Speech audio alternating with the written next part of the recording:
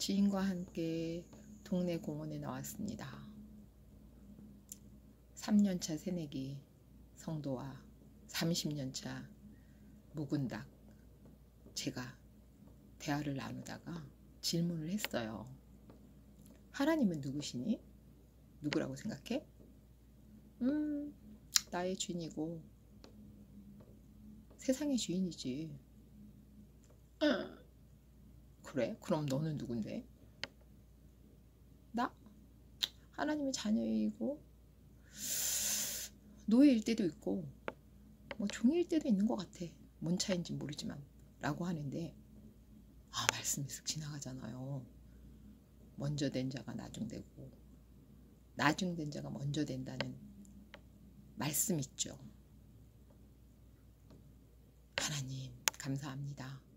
분발하겠습니다. 저는 신앙생활 3년 차에 저런 질문을 저렇게 받아 넘긴 적 없었거든요. 오히려 아, 그런 질문을 왜 해? 라고 반박한 적이 꽤 되는 것 같아요. 우리 혹시 저 같은 생각을 하고 계신 분이 있다면 오늘부터 우리 하나님 말씀 앞으로 더 가까이 나갑시다. 그리고 3년차 앞에서 정말 겸손히 말씀으로 유로할 수 있는 유로자가 됩시다.